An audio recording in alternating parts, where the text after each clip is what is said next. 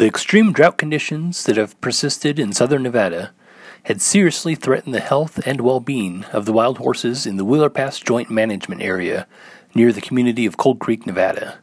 The continued decline in body condition and lack of forage culminated in the immediate need for the Humboldt Toiyabe National Forest to remove wild horses from the area and send about 126 to the BLM Ridgecrest Regional Wild Horse and Burro Corrals for care and adoption.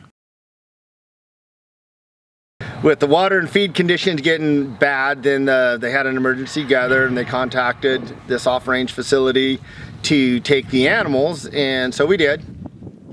Seeing the animals coming in in the condition that they come off the range because they don't have food and water, they're very poor, they're very weak, and then seeing them blossom with good care and um, then helping people go through the experience of adopting a wild horse and developing the bond with a wild horse um, and just that connection, uh, that first touch is golden.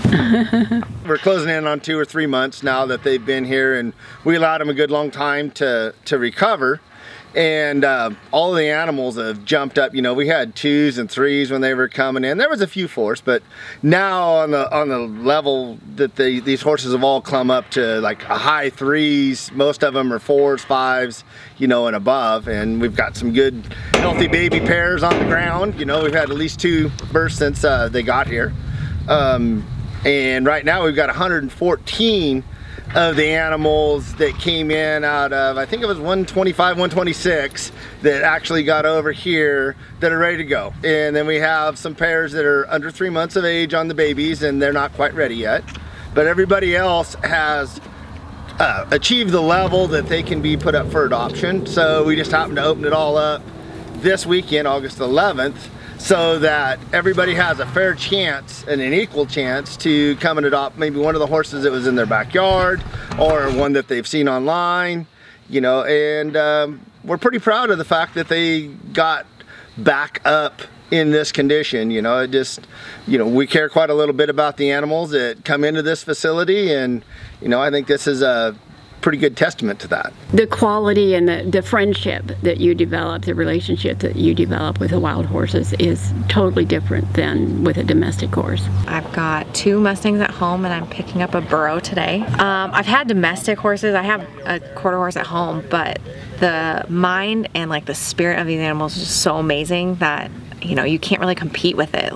We are here to uh, pick up two Mustangs that we have adopted and take them back to their home in Cold Creek. Uh, there'll be some uh, uh, a lot of training to do and we're, we look forward to the process, enjoy the process, uh, the bonding through the training and um, we ride in the mountains, do a lot of trail riding so that's really they hopefully will feel like they're more or less back home and doing what they used to do just in a little bit more domesticated manner I suppose. I love them all, but yes, I, I do have a, a couple that that we've definitely fallen in love with even more. I like number 13 and 33 and the babies girls over here. Talk to people, talk to people who have adopted, um, come to events like this one and learn um, that that's the best thing that you can do. Some of our best adopters, most successful adopters, are people who've never owned a horse before because they don't have any preconceived notions on how it should go. And um, you learn almost as much from the horses as they learn from you. My my little Mustang that's broke right now is can do almost anything. We've taught him to lay down. He cuts cows.